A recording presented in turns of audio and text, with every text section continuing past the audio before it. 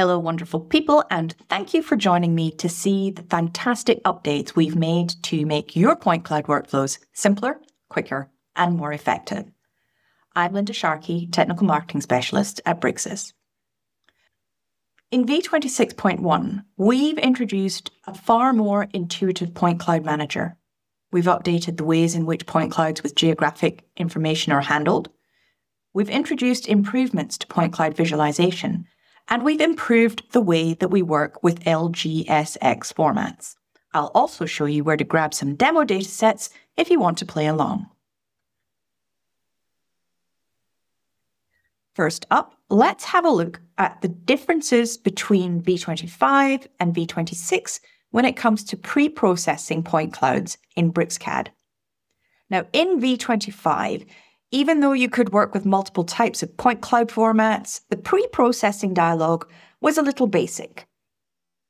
Now we've updated it to include a thumbnail and metadata, such as whether the point cloud has scans, normals, uh, UCSs, the number of points, and more. Some of these metadata can be changed. So, for example, you can rename a scan in order to make it easier to identify. If you work with outdoor scans, you may notice that there are geographical coordinates associated with it. This will show up in the dialog box, and when attaching, you'll be asked whether you want to use it. Note that if you do, then it'll override the coordinate system associated with the drawing. So make sure you have your workflow set up beforehand. When you attach the point cloud, you can continue to use it in your survey workflows with things such as adding maps from an internet server. Here we use the geomap command to add some background mapping. And note that by adding the point cloud with geographic location data means we don't have to set it. We can just add an online map, in this case from an Esri server, and voila, you have a background map for your point cloud. Other things you can do are switching off the classes within the point cloud itself, except for ground, and you can create a tin surface. Now, make sure that you keep an eye on the command line when you're doing this uh, so that you can set variables such as whether you want to simplify the tin and by how much. Once you're done, you have a tin surface that can be used in any type of civil workflow, just as any other. If you want to play around with this functionality to see how it can make your workflows more efficient, you can find the sample dataset that I'm using at Datastore Brussels. Uh, search for Urbis LiDAR. You can choose the format, geographic projection, and version, although we don't have to worry about that here because there's only one option. Next, you select the grids that you want. The grid I'm using in this particular example is 151777. Then hit download. Now, remember that these point clouds can be very large, so one at a time works best. If you wanted to play around with any other data sets, they're all there. Just play around and download as you see fit.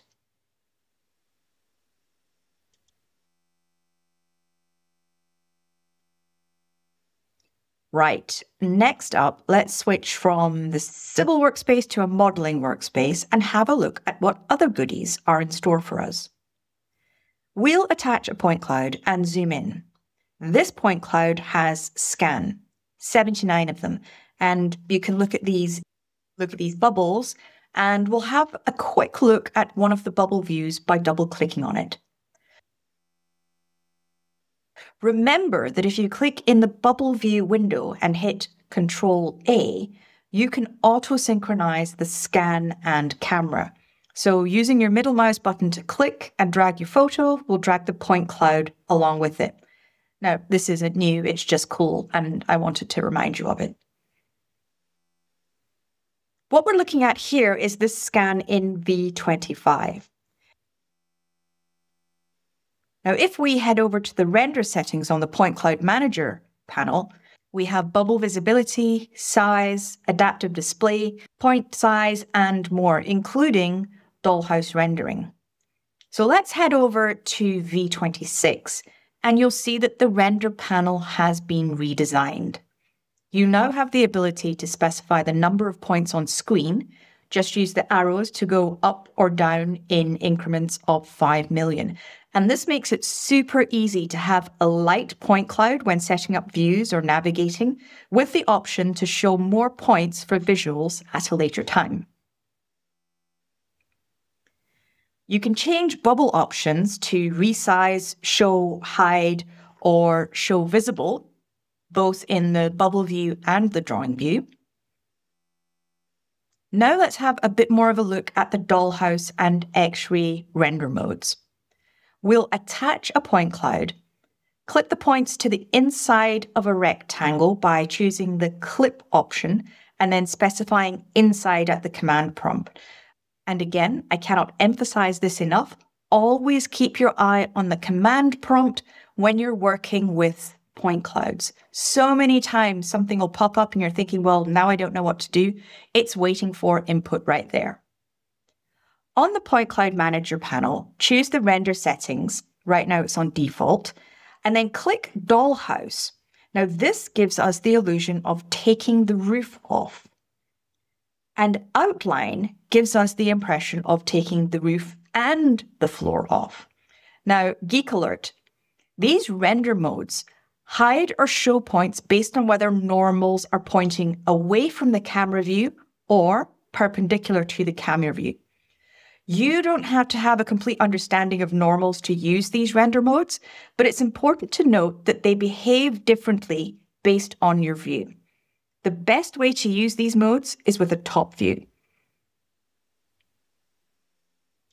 If you want to take these features for a spin, then you can find the data sets that I used from the University of Zurich, Department of Informatics, Visualization and Multimedia Lab. So under the research datasets, you'll find many free options. And for this one, I've used the Penthouse dataset. The way that users can work with LGSX data has been improved. Now, the processing of this has two steps really. One is the actual processing of the points, and the other is visual optimization, which can take up to 30% of the processing time. So we've improved this workflow by showing the point cloud almost immediately and continuing to process any bubbles that might be associated with the cloud in the background.